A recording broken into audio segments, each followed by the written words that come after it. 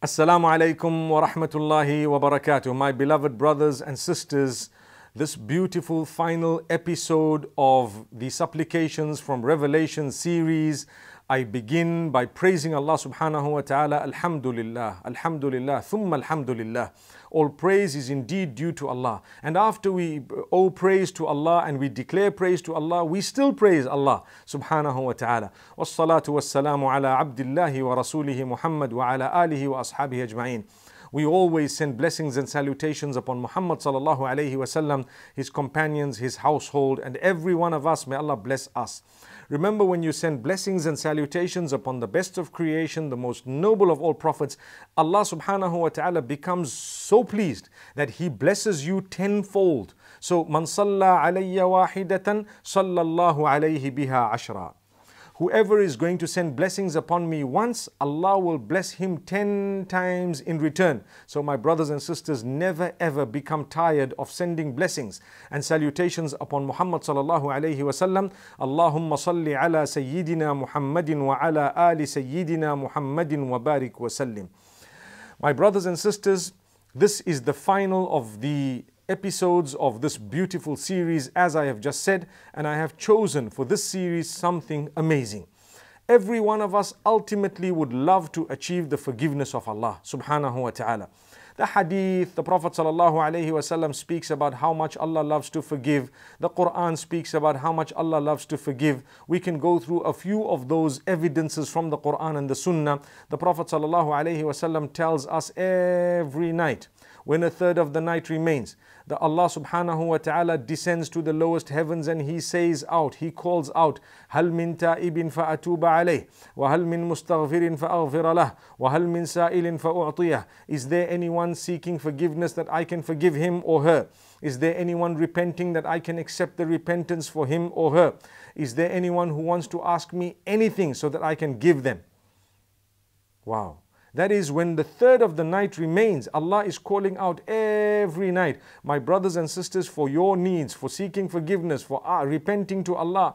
Get up at that time and repeat and reiterate the repentance that you have been engaging in. And Allah subhanahu wa ta'ala will definitely give it to you, my beloved brothers and sisters. When you say, Oh Allah, forgive me, it is recorded by the angels, it is heard by Allah subhanahu wa ta'ala. It will come to help you on the day of judgment. It will come to help you in your grave. It will come to help you in the hereafter completely. And it will even help you in this world.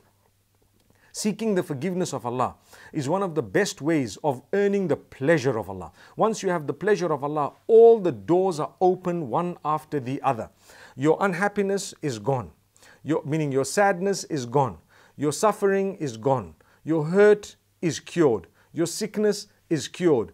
Whatever you were looking for has come to you. How did it come to you? You wanted children, they came. You wanted sustenance, it came. It came because you earned the pleasure of Allah.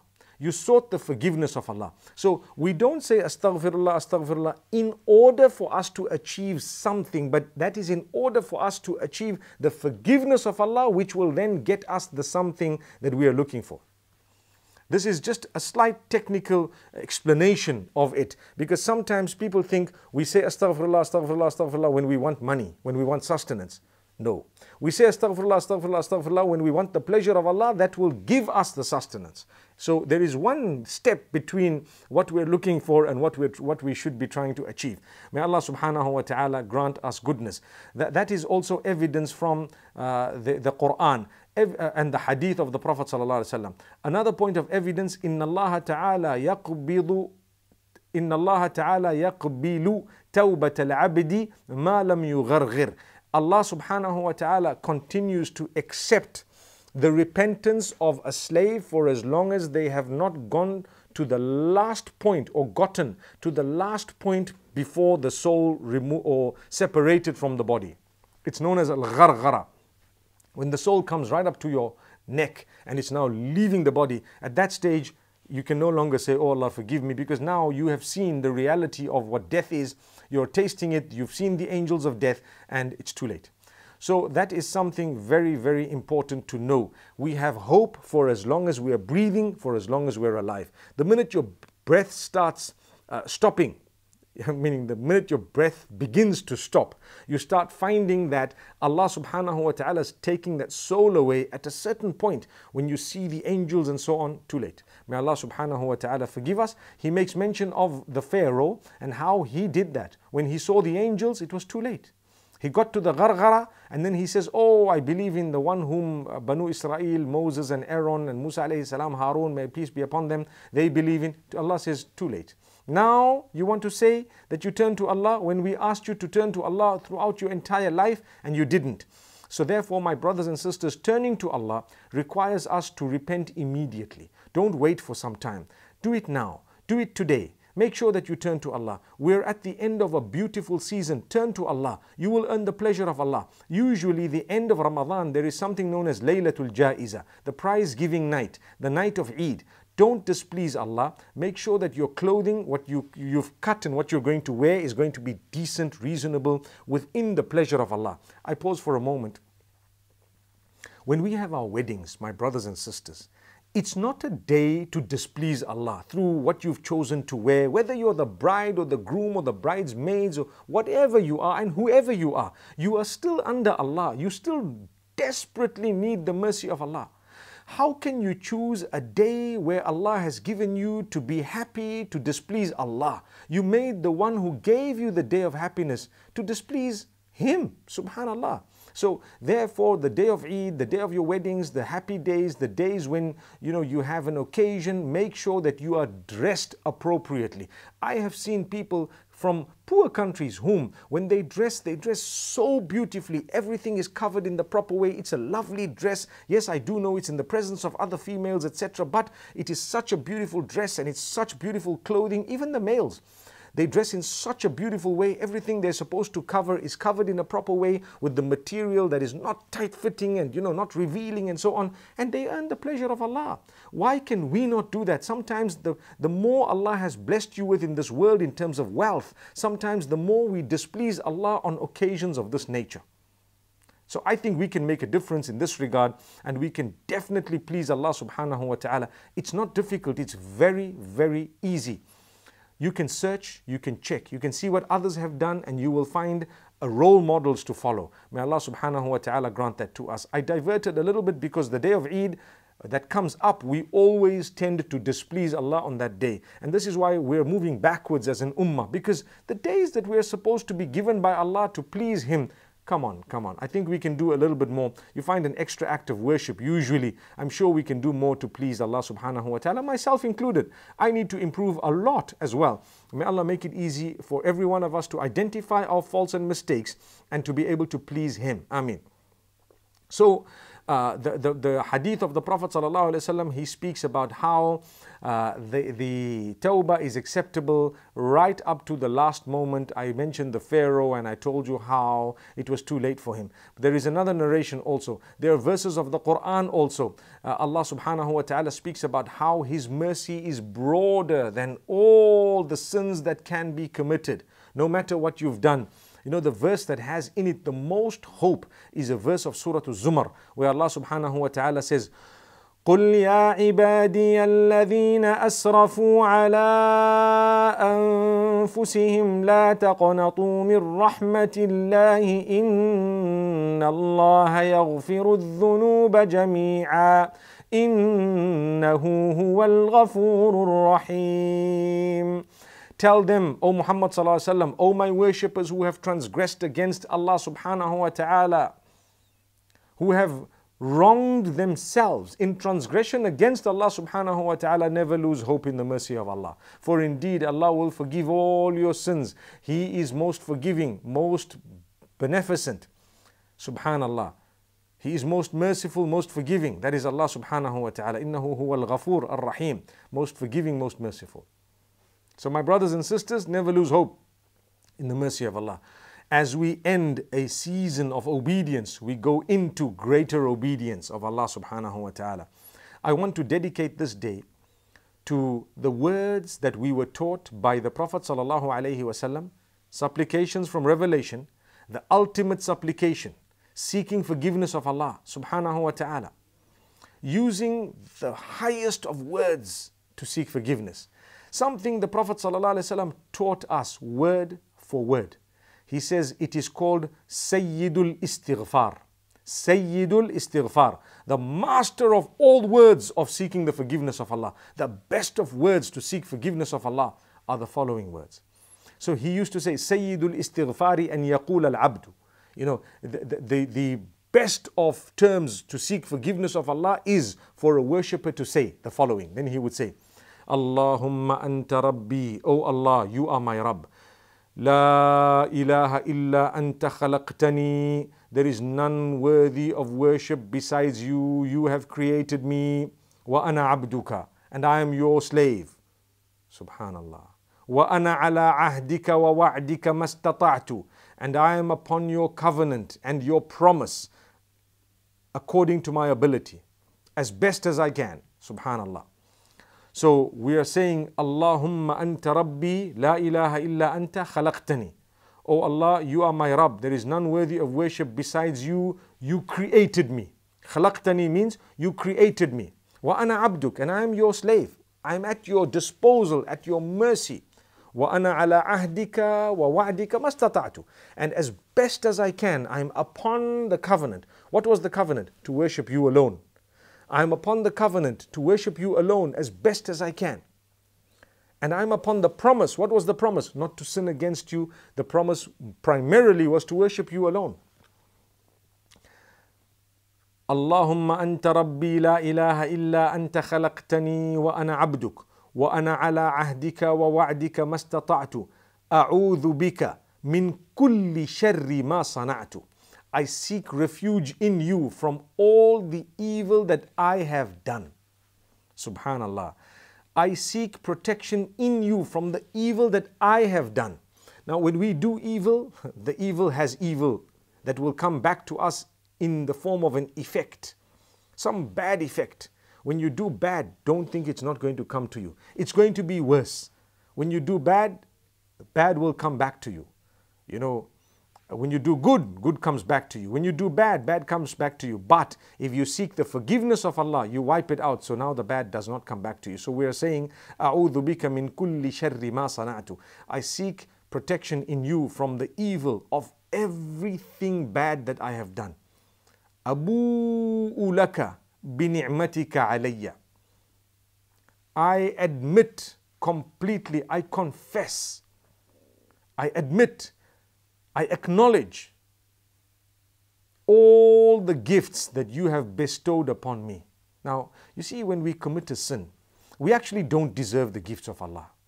When we commit sin and we go against Allah, we don't deserve. But Allah gives it to us. You know, Allah is not like you and I, subhanAllah, where someone does bad to you and you block, you stop, there are sanctions against them, and that's it, you know, subhanAllah. Allah is not petty.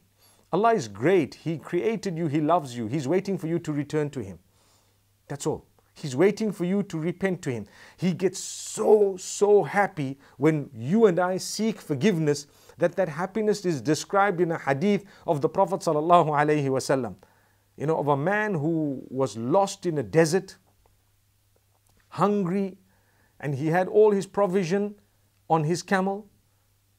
He put the camel aside, he tied it, and he went to rest. When he got up, his camel disappeared and he was lost completely in the middle of the desert. Nothing, no hope, no mercy, no nothing. And you know what? He started calling out to Allah, and uh, some time later, he spotted his camel. He was so excited. Out of his excitement, he, he blundered in the way he said, He says, Oh Allah, oh Allah, I am your Lord and you are my slave. See, that was a mistake. That mistake was made out of excitement. The Prophet ﷺ describing the happiness of Allah says, Allah becomes more happier than that man. The happiness of that man was through a mistake. The happiness of Allah is never through a mistake. Subhanallah. Allah becomes very, very happy when we repent. So let's repent, my brothers and sisters, make Allah happy. We say, Allahumma ardini, warda anni. Oh Allah, make me happy and be happy with me. We learned that supplication in one of the episodes, didn't we? I hope we still remember that uh, supplication. What a beautiful supplication. Allahumma ardi, ardini warda anni. So The, the Prophet ﷺ here is telling us to use these beautiful words known as Sayyidul Istighfar. Allahumma anta rabbi, la ilaha illa anta, khalaqtani, wa ana abduka, wa ana ala ahdika wa wa'dika mastata'tu, a'udhu bika min kulli sharri ma sana'tu, abu'u laka bi ni'matika alayya. I, I confess, I acknowledge, I actually, actually the word is acknowledge. I acknowledge all the gifts that you have bestowed upon me, even though I don't deserve them. Wa abu ubidhambi. And I acknowledge, here we can use the term confess, all my sins. Whatever sins I've done, I acknowledge. Ya Allah, I've, I've sinned. I've done wrong. I might have done whatever. Everyone does different things. So we're acknowledging that we were sinful, we did something that displeased Allah subhanahu wa ta'ala. وَأَبُوءُ بِذَنْبِي فَاغْفِرْ لِي فَإِنَّهُ لَا يَغْفِرُ الذُّنُوبَ إِلَّا أَنْتَ So forgive me, O Allah, for indeed there is none who will forgive these sins besides you. You are the one who will forgive me, so forgive me. And Allah becomes so pleased with those words. Imagine you are asking Allah, saying, Oh Allah, I acknowledge that you've done so much good for me, and I am confessing I've done a lot of bad. But I want you to forgive me because no one is going to forgive me besides you.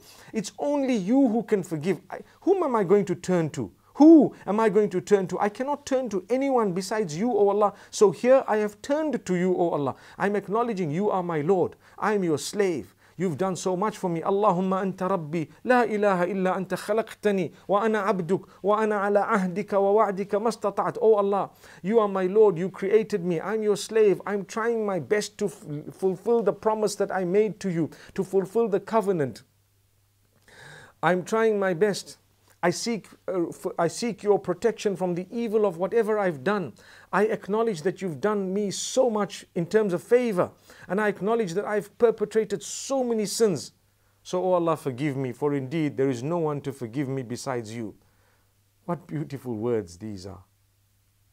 Subhanallah, if someone were to ask you for something using words uh, similar to that, I mean, obviously I don't mean uh, seeking forgiveness. This is Allah. There is no sharik. There is no partner unto Allah. We are not allowed to use these words for anyone besides Allah.